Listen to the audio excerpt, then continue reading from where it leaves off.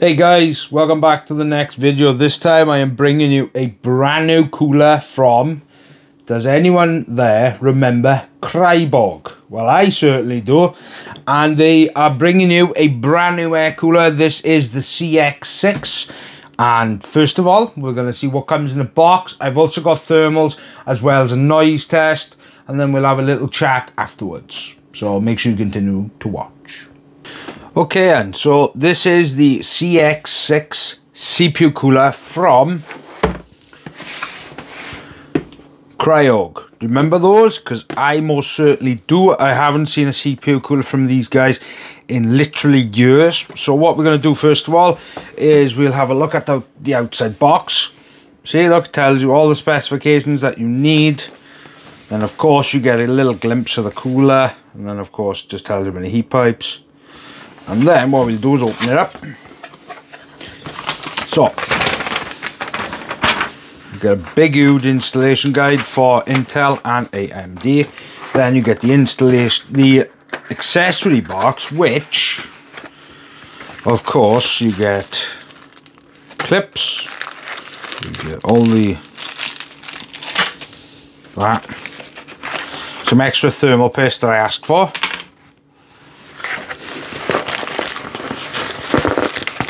Some more.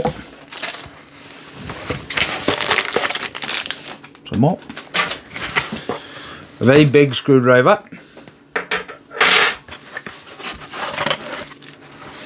And then of course then it comes with the mounting brackets by here for AMD and Intel.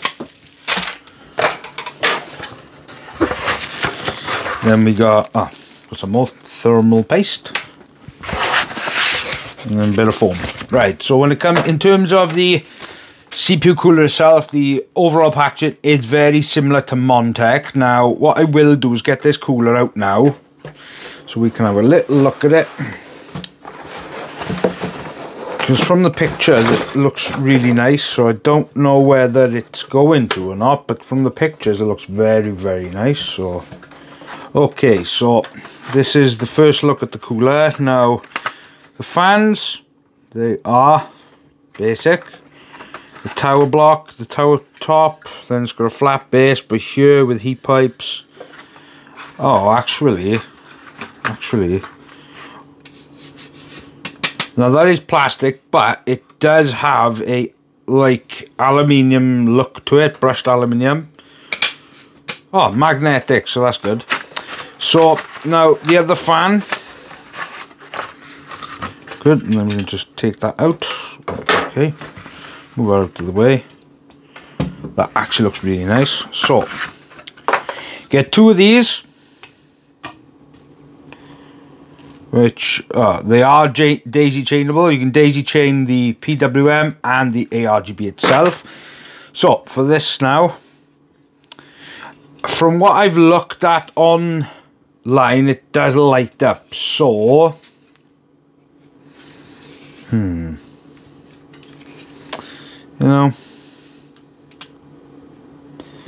But that, that's it.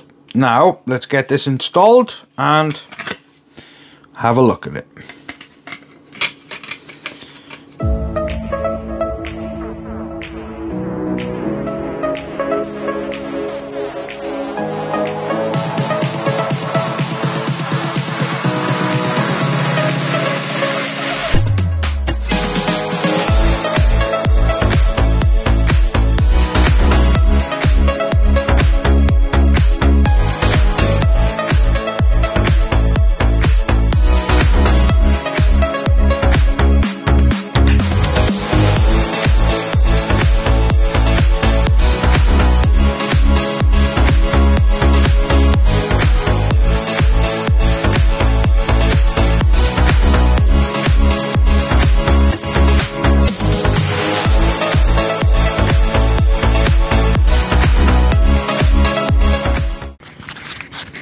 Okay then, so this is the CX6 from Cryorig, brand new, and this is our 50% fan speed.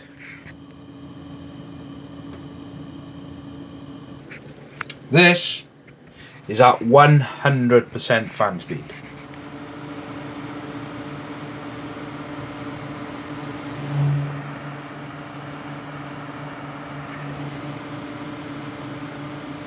This isn't an accurate level of its noise, but it gives you an idea of what it sounds like. Right then, so when it comes to the thermal testing, I do my exact, every uh, the same tests I do every time I test the cooler. So Cinebench R23, Blender Classroom, Blender BMW, 3D Mark CPU test. So I've done two separate tests like I usually do out of the box settings, then with PBO, so it pushes it a bit harder. So for the out of the box, the Cinebench R23 idles with 25 Celsius with a max of 62. Blender Classroom, the idles with 25 Celsius with a max of 60. Blender BMW, the idles are 25 with a max of 59 Celsius. And 3D Mark CPU test, the idles were 29, 25 Celsius with a max of 64 Celsius. And the max, the power draw was 140 watts. Right, so this is with PBO enabled, XMP enabled, so I allow it to push as much as it wants. So for Cinebench R23, the idles were 26 Celsius. Room had started to heat up a little. The max was a 79 Celsius. Blender Classroom, the idles were 26 Celsius. The max of 77 Celsius.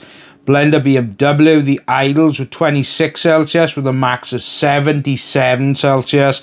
And 3D Mark CPU test, the idles were 26 with a max of 72 Celsius. And the power draw, 180 watts, 5900X.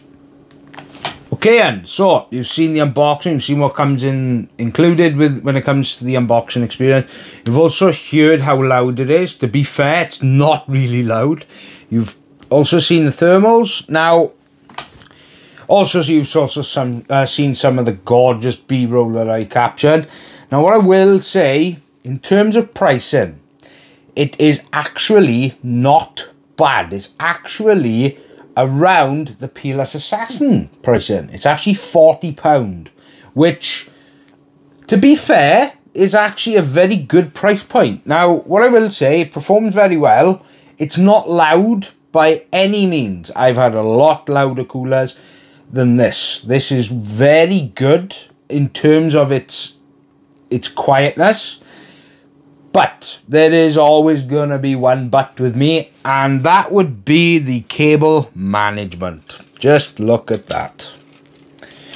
Look, look, I get it, okay? I get it, right? There's two fans, but you've got this fan coming off the top, which does light up as you saw on the B-roll. Now, yes, it is subtle. It's not very bright, but it does shine gorgeously. Now, this and this they should have shrunk it. Now, I like that the the cooler itself with the PWM is daisy chainable, but what they should have done is the middle fan had it as a single uh, a, a single four pin so then you could daisy chain for better cable management exact what they should have done exactly the same for the RGB as well now yeah, it's all RGB, of course, but it's the cable mess that is going to be a nuisance, considering that I had difficulties because trying to actually hide them and run them correctly, it was a bit difficult because there's only so much length on these cables. That is the only problem I have with this cooler. Nothing else really. The mounting is exactly the same mounting that Montech uses for their uh, DT24. Exactly the same mounting. Whether they've uh, whether they're part of the same company or not, I'm not quite sure. Mounting it was easy. The base plate big, so it will actually do for 14th gen Intel as well as AM5. Now, the price £40, I think that's a very good price point. A lot of uh, brands like Gamdias, or whatever they call them, they priced that dual tower at £90, which I'm sorry wasn't worth that. It may be worth 40 maybe 50 that's it. I wouldn't really go any higher to be honest. But that's just my opinion. It's a good cooler it's actually, I like the RGB aspect of it. As you know, if you're a fan of the channel, I love my RGB. Very big advocate for RGB. And the RGB in this is really nice. I like it. It's tasteful on the top, but it's the cables. I don't like bundles of cables.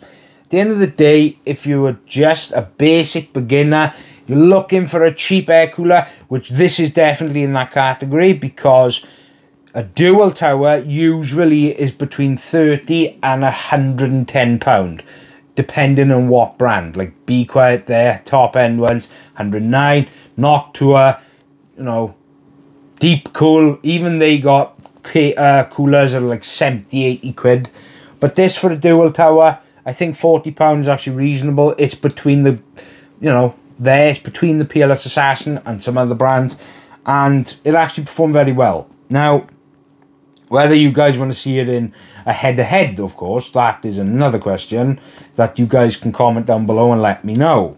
But other than that, it gets my stamp of approval and the performance, the price, the overall aesthetics as well as the RGB, fantastic. But there's one negative, like I said, the cables and that's it. But other than that, it gets my stamp of approval and it's a good cooler for the price. So pretty much that's it guys. So don't forget to subscribe to the channel. If you want to see more things make sure you comment down below. Tell me your ideas. If i can get them in i will try my best. I'm still contacting thermalright. That we're back and forth all the time. I'm trying to get products in but it's becoming a bit of a nightmare. I've got about the APNX case to do the unboxing, the overview. I might do a build in it. I don't know. That's really, if you guys want to see it, then I will. But other than that, I hope you guys have a fantastic weekend and a week ahead for as for Christmas. And I will see you in the next video. This is Richard from WelshyTech. Goodbye.